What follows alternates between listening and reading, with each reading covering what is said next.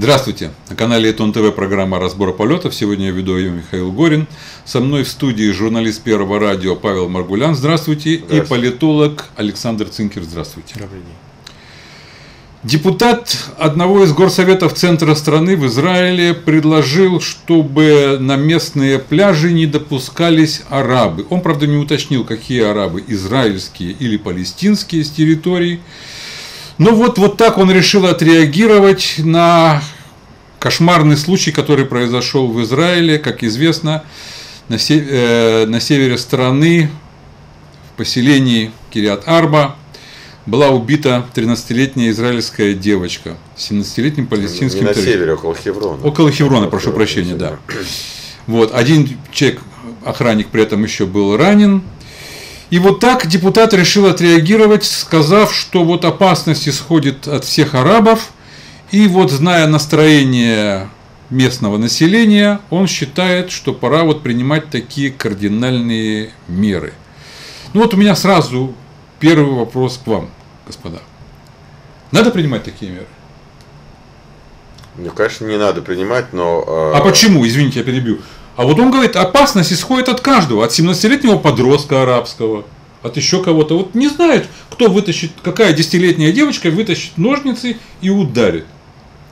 Э, ну, потому что наше государство все-таки э, на сегодняшний день строится на других принципах, и поэтому, э, по его мнению, опасность э, исходит от каждого. Я не считаю, что опасность исходит от каждого.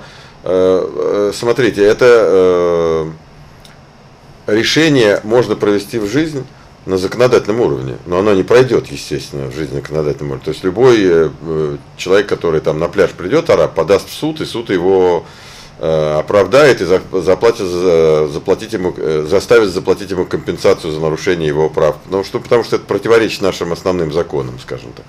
А, так Но, и у нас убивать по закону нельзя. А, ну, за, за что убивают, сажают в тюрьму вообще-то у нас и дают пожизненное заключение. Но можно понять настроение в обществе, когда происходят такие жесточайшие убийства, когда убивают во сне 13-летнюю девочку-подростка. Предложения могут быть любые, но, как мне кажется, э, наша задача в этом в такой атмосфере сохранять хладнокровие и действовать по закону. Я вот всегда был за это, потому что Э, это будет главная победа террористов, когда э, мы съедем с катушек, скажем так, и начнем принимать вот такие законы. Они, этого, они пытаются опустить нас на их уровень, чтобы мы действовали как страна-террорист, чего, я надеюсь, с Израилем никогда не случится. Это же не первое такое предложение. Помните, э, по-моему, полгода назад, когда был после очередного теракта, мэр Ашкелона э, запретил э, на стройках в своем городе да. арабских рабочих.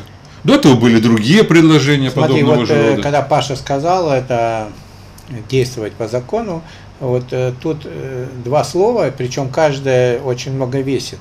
Действовать, я бы об этом поговорил.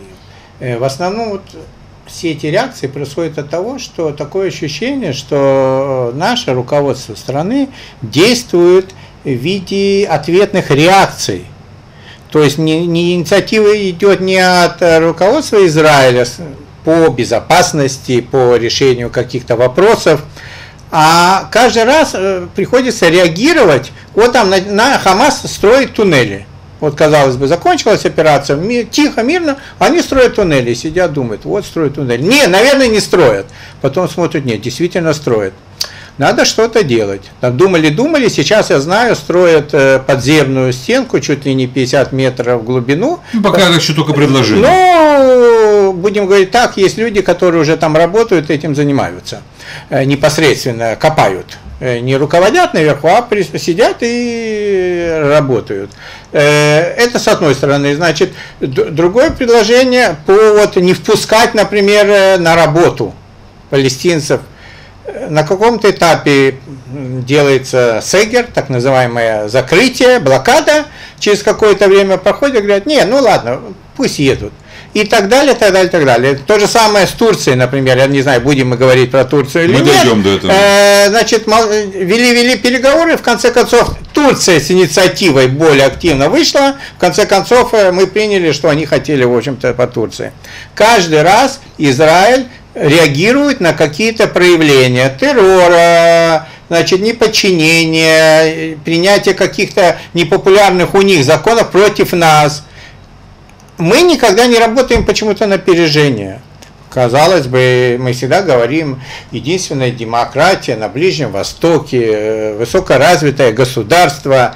Э, я не думаю, что чем выше поднимается по ступеням э, израильтянин, у него происходит такое, так называется, отупление что как бы страна вот такая развитая, а руководят люди, которые конкретно никаких предложений по решению этих всех конфликтов не, не, не делается, и у нас нет никаких гарантий, к сожалению, что завтра такое может произойти в каком-то другом месте.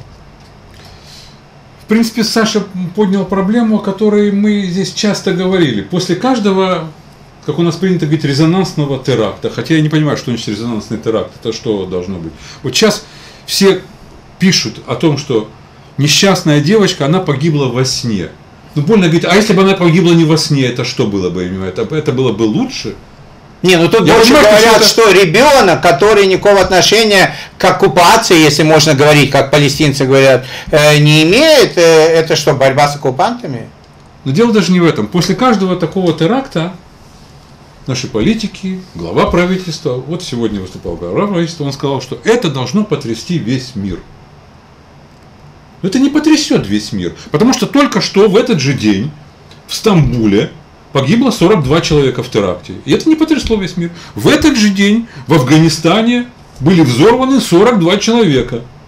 И это никак. Я не считаю мелких терактов, там по 10-15 человек в других странах, в других государствах, которые просто вообще ушли на задворки новостей. Конечно, это не потрясет весь мир.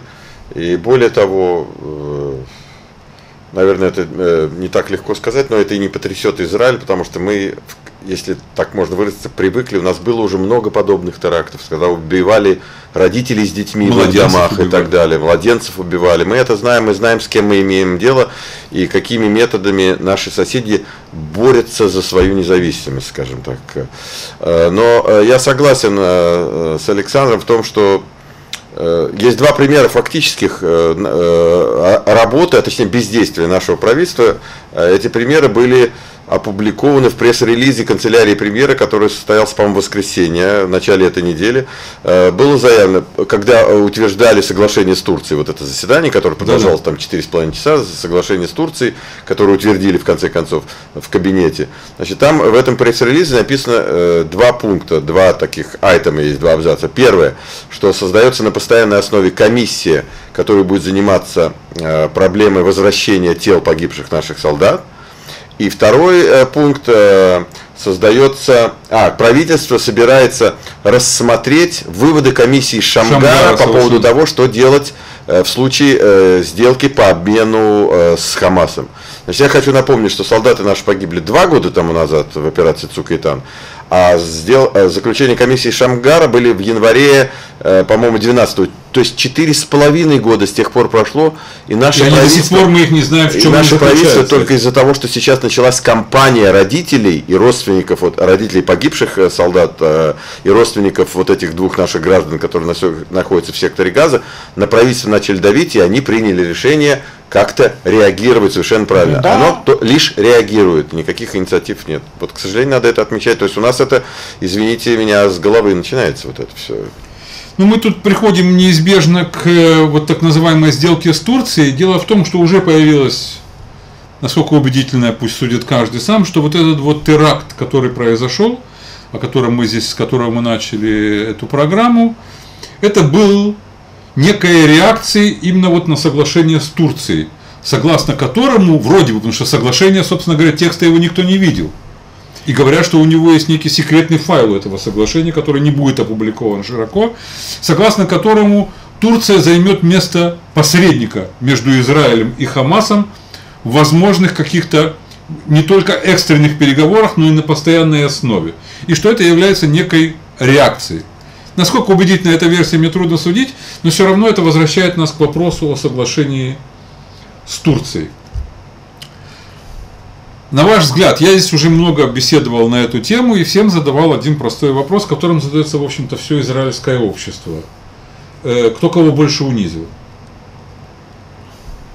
Э, значит, по поводу причины этого теракта. Ну, каждый раз, когда такие вещи сообщают, я не особо в это верю, потому что любой теракт, даже такой, его надо готовить.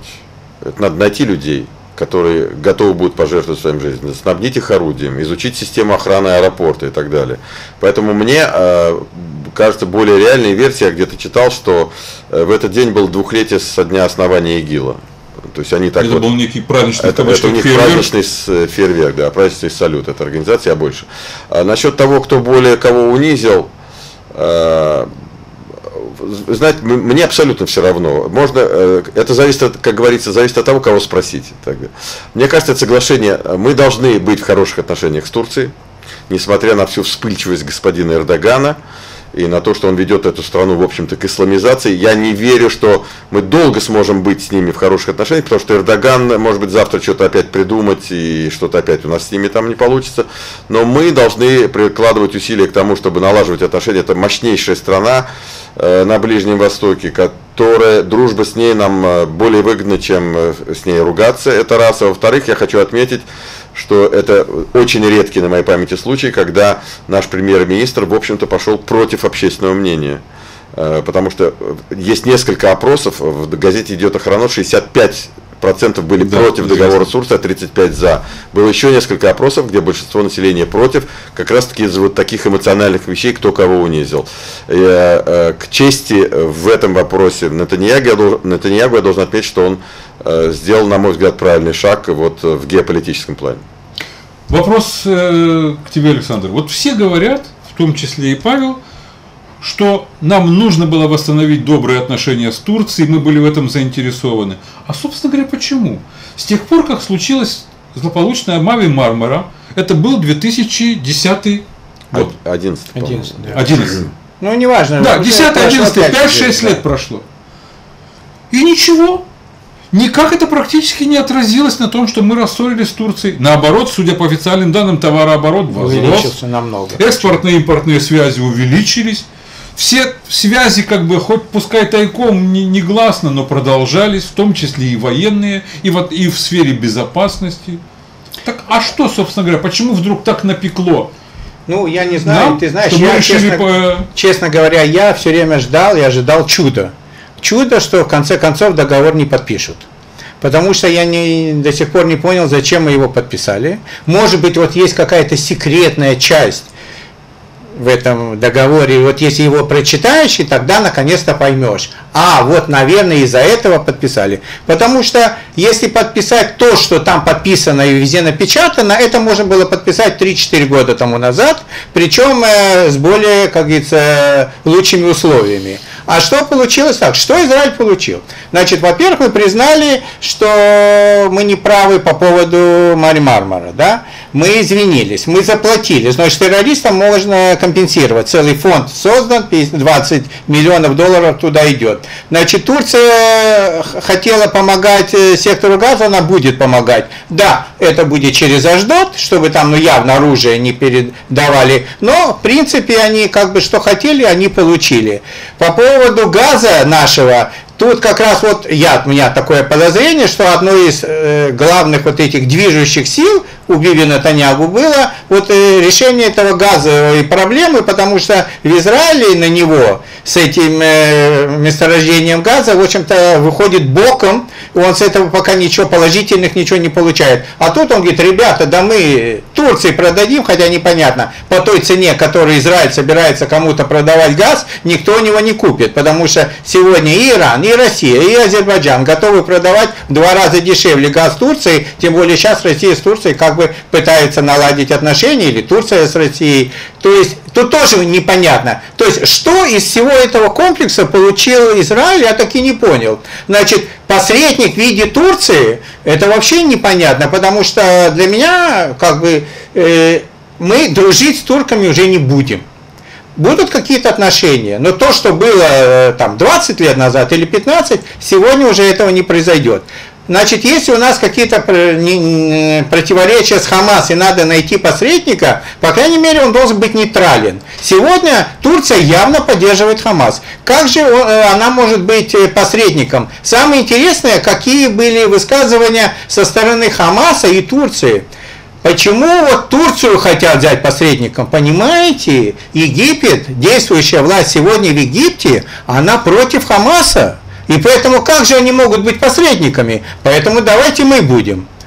Какой-то нелогическое, вот это, нелогический вывод. С Египта на Турцию. И еще, в Египте поменялось руководство, пришли новые люди, это уже не братья-мусульмане, э, поменялась какая-то политика, мы это видим в Турции никто не поменялся. Как был Эрдоган, он так и остался. Наоборот, власть еще больше усилилась. Это авторитарное государство, которое власть у одного человека. Как Паша правильно сказал, сегодня он решил так, через неделю, через месяц он решит, может, что-то другое. У него сейчас проблемы. Проблемы с Евросоюзом, проблемы с Сирией, проблемы со всеми соседями. Их вот эта идея ноль проблем с соседями получилась 100% наоборот, со всеми проблемами. Сегодня он пытается это как-то решить. Что-то с Россией, что-то с Израилем, даже некоторые говорят, вообще, наверное, это тройственный союз, как бы говорили. Но что с этого Израиль получает, я так и не понял. Я хотел, бы, я хотел бы добавить две вещи. Значит, по поводу э, экономической составляющей, на котором там на первом месте газ, э, мне лично непонятно, потому что, э, как наш заявлял премьер-министр, у нас есть возможность поставлять газ и в Турцию, и через Турцию дальше. Значит, но э, Эрдоган нас, э, мы, видимо, он рассчитывал на Таньягу на то, что у Турции плохие отношения с Россией. И, и значит, и мы как бы заменим Россию на рынке газа. На следующий день Эрдоган выкинул финт и извинился там перед Путиным или выразил сожаление, и теперь налаживаются по отношения между по этому Значит, по поводу Хамаса. Я хочу напомнить, что с, со времен Мармары э, за последние пять лет у нас было две военных операции в секторе газа. Э, в 2014 или в 2012 году. Да. Значит, если у нас это неизвестно когда, это может быть в любой момент, как мы знаем, через полгода, через год и так далее, а возникнет опять обострение, Хамас начнет нас опять обстреливать, найдя этому какую-то причину, тогда я задам тот же вопрос, а зачем нам нужна Турция, как э, наш посредник с Хамасом, если результата в этом плане никакого нет. Ну давайте посмотреть, давайте посмотрим, как будут развиваться э, отношения вот этого треугольника, э, в котором есть две жирных составляющие Хамас-Турция. Да Турция, Израиль, и есть какая-то тоненькая там ниточка Израиль-Хамас. Вот на этот треугольник надо посмотреть ближайшие там годы после заключения э, нашего заключения э, договора с Турцией. Может быть, это что-то даст какому-то налаживанию отношений, может быть, это в Хамасу даст какое-то развитие промышленности. Потому что я за то, чтобы они там строили предприятия, э, вот эту оборудование, установку по опреснению воды, воды, чтобы им поставляли из спорта какие-то стройматериалы, чтобы они не ходили безработные, не знали, чем им заняться, потому что тогда безработным, которым нечего терять, легко показать на агрессора и сказать, иди его там режь, да. стреляй и убивай. Посмотрим, как будет развиваться это. Посмотрим, действительно, на это понадобится, как предполагают, как минимум год. Но и не будем забегать вперед. Дело в том, что это международный договор, который должен был быть утвержден не только правительством, но и израильским парламентом. Так что дождемся результатов голосования. Спасибо, коллеги. Всего доброго.